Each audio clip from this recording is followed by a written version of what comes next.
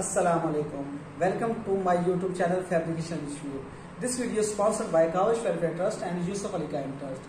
Today we discuss about how to find one year caliper least count. Firstly, least count definition. The lowest measurement that a measuring instrument can measure called least count. Least count formula: minimum value of mean scale divided by divisions of vernier scale. For example, vernier caliper least count.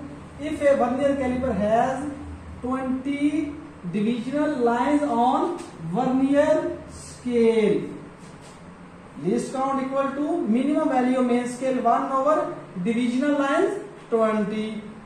Least count 0.05 millimeter.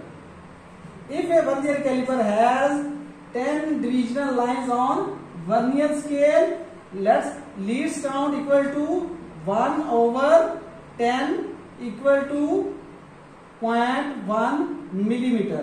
For inches, least count in inches, if Vernier caliper main scale at least 1/16 inches dimensions and Vernier scale total divisional lines 8, least count 1/60 divided by 8 least count 1 over 1 to 8 inches. I am hopefully you will understand this topic easily. I am too hopefully you will subscribe my YouTube channel for more informative videos. Thank you.